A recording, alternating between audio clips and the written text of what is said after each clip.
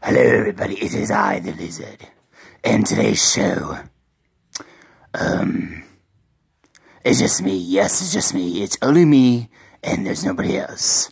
Because I'm all of the villains, and right now my uh, villainy friends are in the fortress, planning up a plan to destroy the enemy heroes. Oh crap, I said that loud. Sorry, my bad. Uh, I gotta work on my lines. Anywho,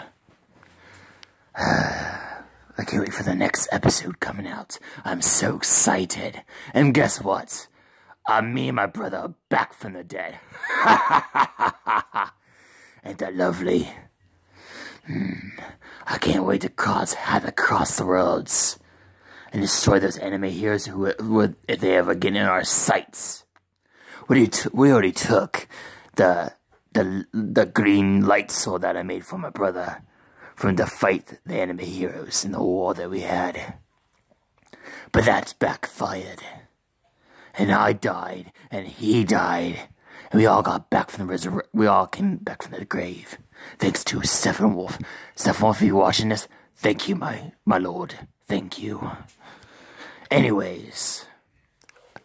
Yeah, I'm just the only one that's on this show, so uh yeah.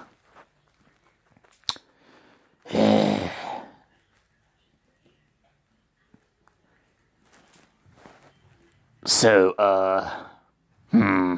Like I don't have anything else to say. Hmm. Would you quit focusing in and out, you stupid camera? God. Don't tell me I have to buy another one. Hmm.